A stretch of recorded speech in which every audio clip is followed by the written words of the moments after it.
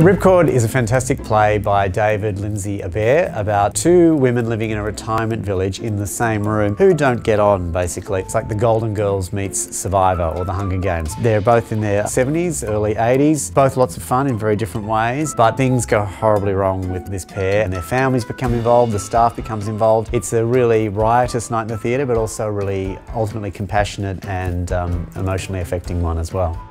Ripcord, I think, is one of the most incisive and funny and kind of ingenious comedies that I've read in some years. Really funny, but also really affecting. You're kind of going along, laughing and having a great time, and then you're, it really kind of hits you in the solar plexus emotionally.